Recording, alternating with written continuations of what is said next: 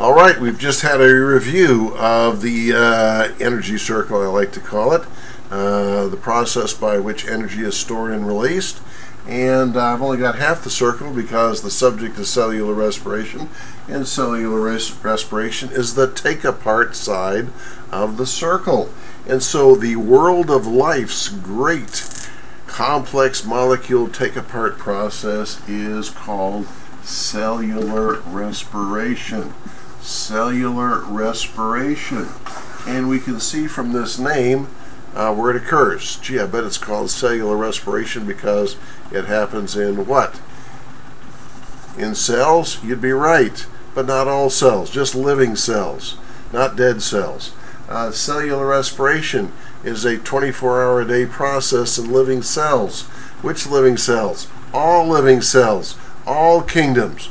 And so all living cells all living cells, all, A-L-L, all living cells perform cellular respiration 24-7.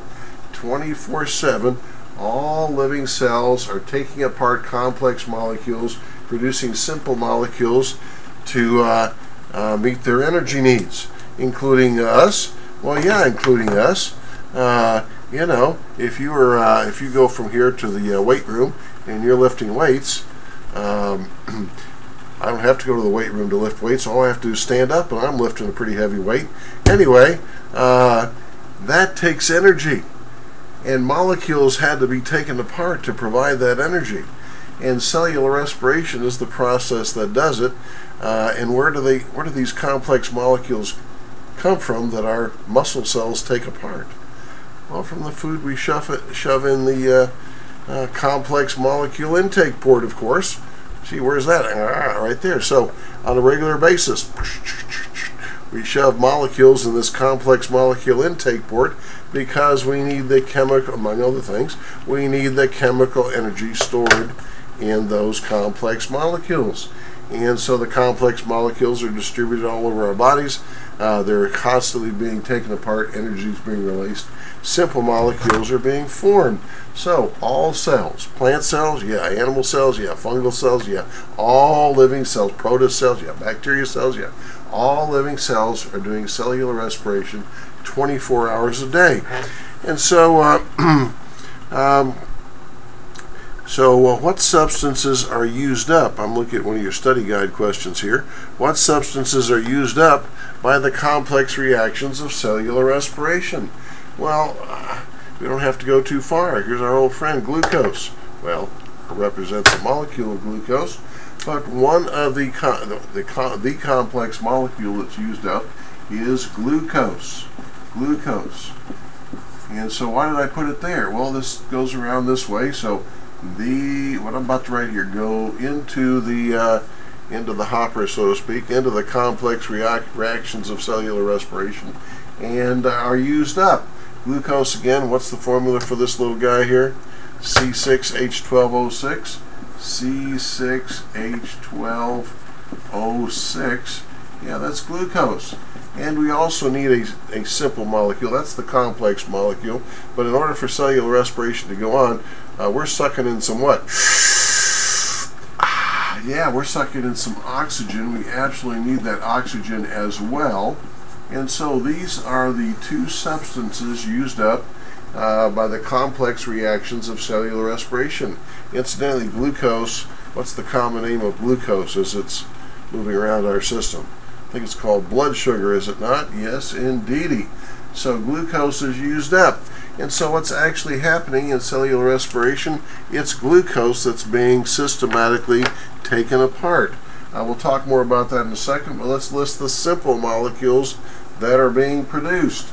Uh, they are, and we, I'm not going to write the names, you know what these stand for, I think. Uh, one is carbon dioxide. We're exhaling carbon dioxide.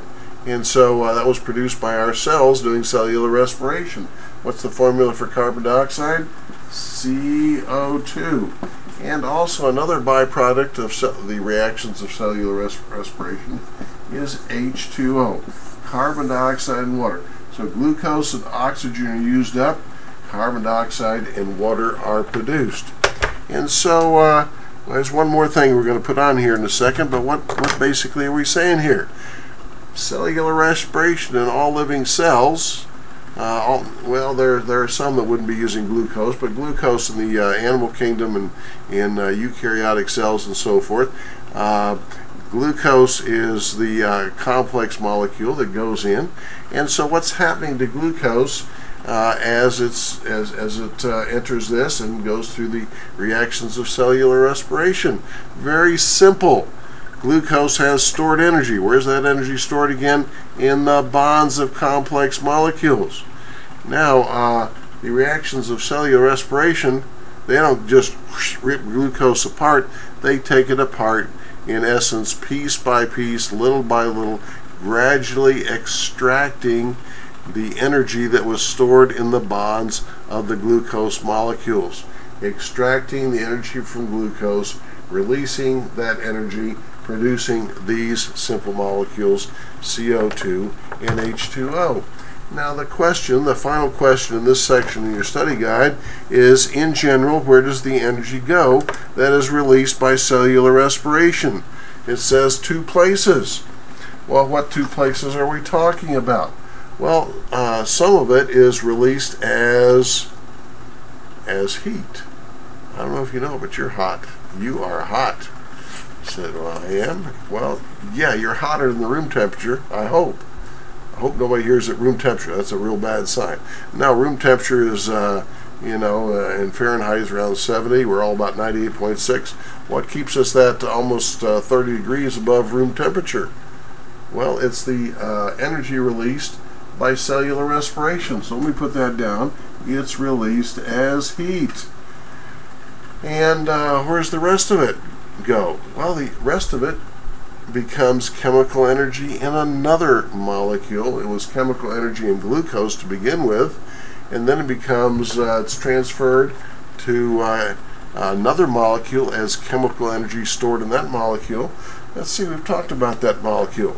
A temporary energy storage molecule uh, what's that called again? A, A, A, A, A, ATP. Oh yeah, stored in ATP. And so energy goes from being stored in glucose to being stored in ATP. How is that energy stored in ATP again? Let's see. ATP is the live battery form. There's a, what's the dead battery form? ADP, ADP.